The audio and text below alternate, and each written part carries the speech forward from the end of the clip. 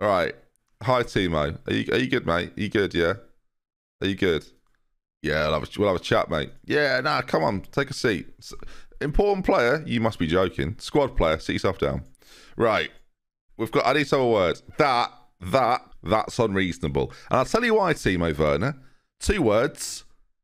Timo Werner. Remember who you are. All right? There's a reason Chelsea letting you go, and there's a reason Norwich, you're even talking to us. Right?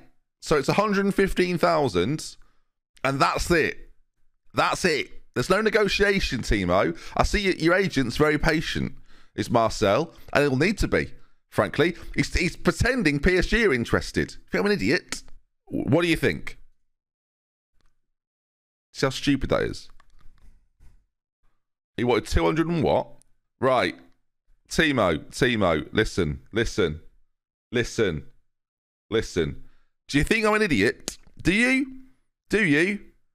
Do you think I'm Do you think I'm an idiot? Do you think I'm an idiot? This is obviously unreasonable, isn't it? This is obviously unreasonable. I will you are you are a cretin. Listen, you're getting team of the year, 1.8 million. You get the top goal scorer in the division, 1.8 million. Okay? I'm not an unreasonable man, Timo. We win the Premier League. We win the Premier League, 1.8 million. If we get relegated, you can walk. You can walk, Timo. Okay? You can walk. And um I think I think that'll be that. For every goal you score, 80 grand. And I think there we that's what there we have it. There we have it. That appearance fee's a bit there we go. That makes more sense now.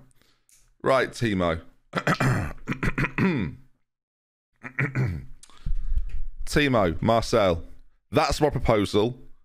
What do you think? I didn't want you anyway, so whatever.